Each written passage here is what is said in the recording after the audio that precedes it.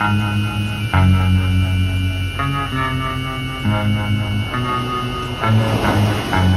you.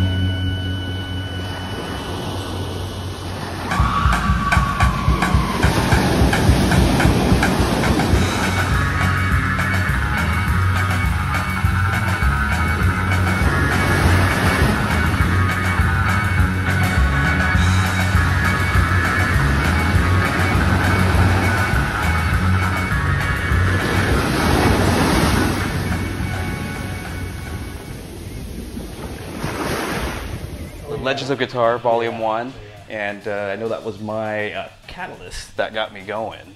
Uh, that opened up the, the floodgates to the genre, and so you mentioned that was your. So, my whole background with guitar is uh,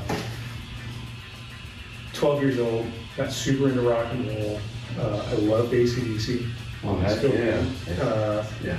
And that was sort of my gateway into guitar playing. My parents are both musicians, um, but we had acoustic guitars around the house, and I was, you know, cool. I mean, drawing pictures of SGs and wanting an SG, so that's what I started out on as an SG. Same thing as well. Yeah, yeah, and uh, basically through that, I got really into basic hard rock like that. I got really into punk rock, especially later on when I went to college. I got super into hardcore, and uh, the whole time though, there was this sort of underlying current of instrumental guitar music. When I was a little kid, uh, my babysitter had the the uh, Hawaii Five O LP Oh, yeah.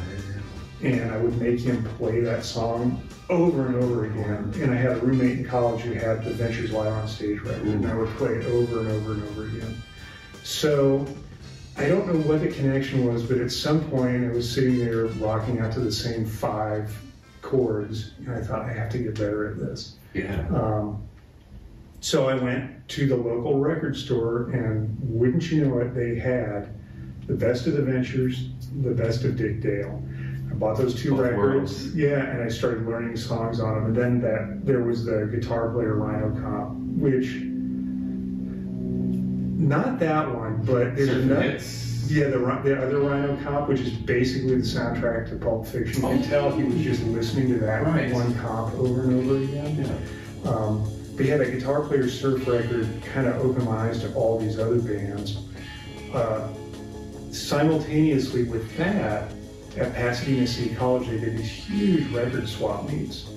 And um, my college girlfriend introduced me to it. And there was so much cool stuff. And there were guys like Skid Roper would always be there selling old surf records. So I got introduced to a lot of other old stuff through that record swap meet and uh, a lot of what was then current new stuff. You know, I'm Right. talking 93, 94, somewhere in there. So uh, I used to, every month I would go and buy records at that swap meet. And, and that was sort of the, the genesis of going, the other music I loved, but I was sort of a, a just a home guitar player Right. all through college, closet guitar player. Didn't think I was good enough to be in a band. And uh, the surf music was the thing where I went from just being a guy playing at home to I, I have to put a band together. Right. Yeah. Yeah. Uh, Dick Dale and the Ventures, that's just the magic combo right there. You I think it's all I knew, Right. like name-wise. I just those were the things I knew. I knew the Ventures obviously, Right. and then Dick Dale was like, well, he's the surf guitar guy, so the king of surf. Yeah, so I just that's what in my kind of my naive state I went and got those. Right. And then it was like the floodgates were open and I'm sure within a month I had a pretty sizable collection of that stuff. Yeah. And records to be had too. You know, at thrift stores, and you can find Venture Records. Records and CDs, you know, CDs, yeah. going to going to uh, Tower Records God rest its soul. Uh, yeah, yeah. that was Love my that that was my Friday night deal. If I couldn't sleep because they were open until midnight, and I would just go and buy everything new that had come out. Yeah. And that was a period when CDs were still healthy, and Right. there was just tons of Tons of stuff. stuff coming in, imports, the, Yeah, a lot of stuff from the UK coming in, a compilation. There, there was a guy named Elliot Kendall at the Pasadena City College swap meet who I still see around all the time, and he always had phenomenal stuff. Yeah. You know, like just uh, air checks from the '60s and stuff. Right. Yeah, so that was kind of the kind of the deal, you know. And it, uh, yeah. Anyway, I, well, you get a word in. Yeah, um, yeah. For me, with that, uh, the Legends of Guitar Volume One, um, uh, what stuck out for me was the Gypsy Surfer and Beyond by the Chantays, Yeah, and uh, from there, I'm just thinking that sound, that splash, that sound yeah, um, was my catalyst. That, that I, I gotta do this. You know, I gotta do this. totally. And uh, back then, naive, not knowing that it was a reverb tank, but uh, all I had was the onboard on the twin, thinking it's got to be splashier than that. And Yeah, then yeah. It's kind of the discovery of the tank was just ah. Yeah, and you know, it. it's funny because people get all court sniffy about reverb tanks, but when that reissue reverb tank came out, because Oh. you could not find an original to save your life no. at that point. Yeah, Uh, Fender did a great thing getting that guy They out. They sounded great. Yeah, even uh, for the not being a point to point, but circuit board driven, it was amazing. Yeah. Analog to. I always say, listen, if you're in your bedroom, you can hear the difference and stuff, but when you're on stage, Mm, it, it irons out all the problems. It all sounds good. right. Yeah, so just, that was it. As, Um, as Johnny Ramone said, uh, all electric guitars sound the same if you turn them up loud enough. Past 12 if it existed. That's right. But ACDC, man, that's cool too. Uh, that you dug ACDC. I still dig that too as well. I feel like that is probably evident in my rhythm guitar playing, and frankly, in, in my very basic lead playing. Malcolm, yeah. There, there's a lot of Angus soul. Young. Yeah. There's, there's probably a, a helping of Greg Hunt. For some Yeah. reason, you know, from, from the Finks, which Yep, was yep. A, a record that really hit home for me. I think. I don't know if you if you own that LP, fill it up and go. Uh, I'll show it to you. Yeah, And- please. And, seeing the sleeve, I was just like, like it looked like an old record. It was really cool, and it, Vintage. it's got great sound quality to it. It's recorded really well.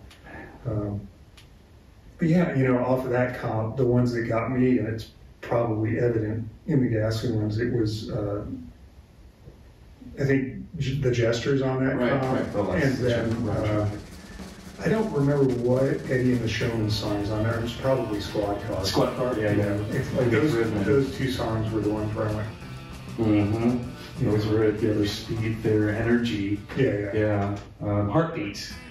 Uh, that's another track too. Um, when I discovered you guys, thinking, wow, um, who's the artist that did Heartbeat? The Avengers. The Avengers, yeah. Yep. Five, four, six. Right. Sorry, I'm, betraying my ignorance. No worries, man. But yeah, that that's just uh,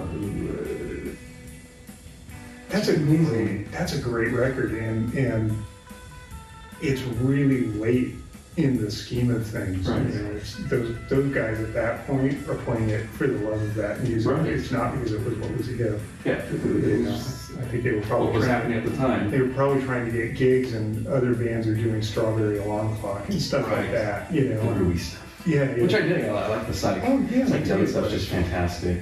Yeah, that period. Being those guys trying to get gigs doing surf music. Right.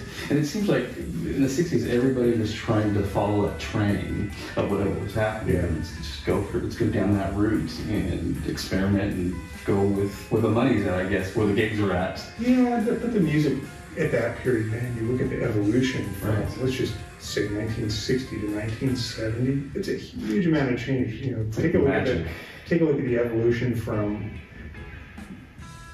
let's say 92 to 2000. Right. There's, there's not It that just exponential growth. And it seems like uh, a lot, of, a lot of artists were floundering. You know, what, uh, what do we do? What's the next thing? Uh, but it's so true. It just seems that rock and roll goes in these uh, segments of 10 years, and then there's nothing for the next decade, and then there's the next great thing. Yeah. And I think Nirvana really might have been one of those culprits that might have Well, that's for rock and That's roll. really why I picked 92 out. Right, right. 91, 92, that, was- that opened the floodgates like uh, the Beatles did when they came to America. And ah, we gotta do Yeah, like- that. My uh, college girlfriend was from Seattle, and she introduced me to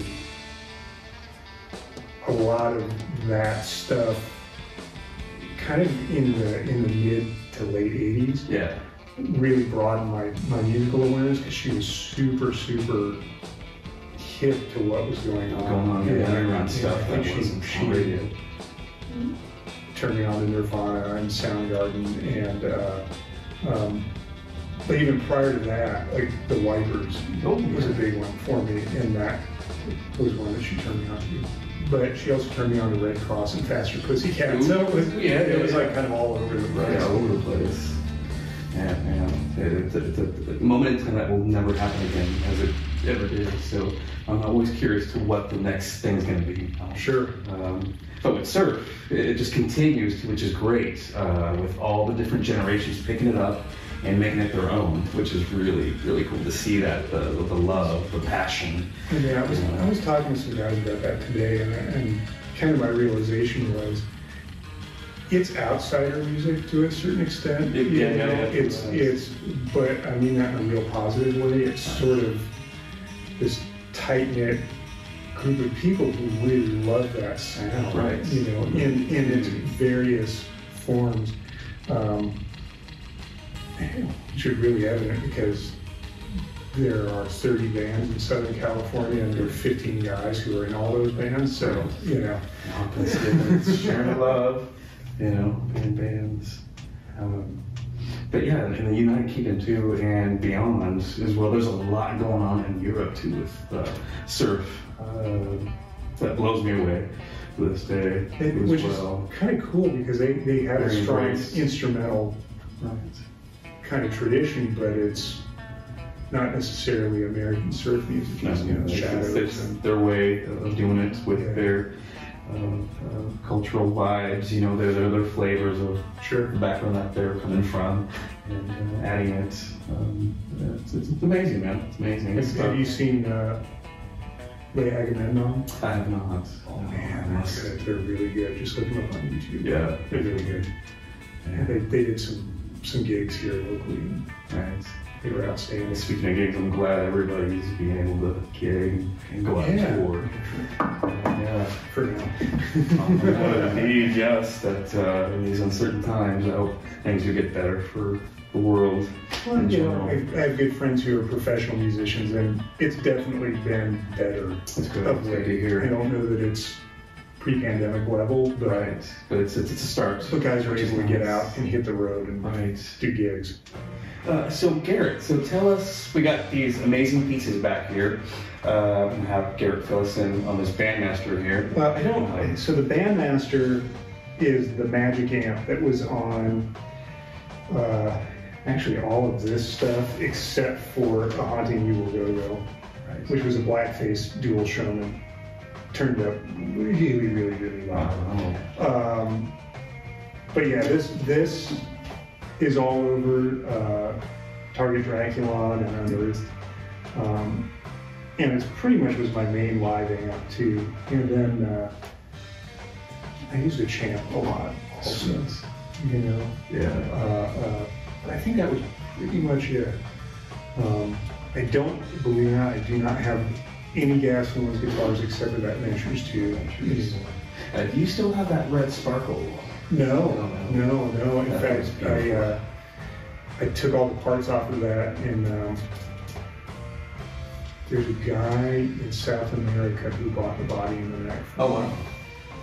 So Yeah, I think it was a beauty, man. It sounded it, great. it weighed a thousand pounds. It did. Yeah, Oh, it was a, it was a, a 90s era Mosrite body, uh, uh, either from Jonas Ridge or it was an Ed Elliott body. That's bought it from Ed Elliott. Uh, and it was just really heavy. It was, it was, Was it, it was heavy as a Paul? it was heavy. Heavy, heavy. It was Yeah. heavy. No. It was lead, and, and Mosrites don't weigh very much, so I don't know what it was about What that it was about. And then uh, the black one that that's seen in Halsey, uh, Holly Hearst, uh, you still have that. So that wasn't black, it was blue. It was blue. It was super dark blue. I do not have it anymore. I sold it to a guy uh, who worked at Yamaha Guitars. Okay. Um, and then I saw it for sale on eBay years later. If you ever see, uh, doesn't say the Ventures on it. If you see one of those, it's, it's a really great looking body because I think it was an older body that got recycled. Recycled, yeah. But on the back, there's a chip about that big out of it hmm. where it's red sparkle underneath. So Oh. I think what it was was a, a, a botched sparkle finish, maybe Right, for they a show or something, and it sat around for years, and then they just Reused the old. yeah, because the, the, the this this gets really nerdy, but the Right. contours over the years with Mosrites, they're really lush in the in the first like 64. Yeah. Yeah. And they, the bodies get thinner and the cars start getting less Right. rounded. And so So that's all. whole body. That's all by hand, right? The, they they uh, use templates, right? Well, they, they, they use a shaper blade, Okay. um, you know, basically like a giant router Right. bit that they did the, Shape out of the contour. Yeah. The German carve, they call it, right?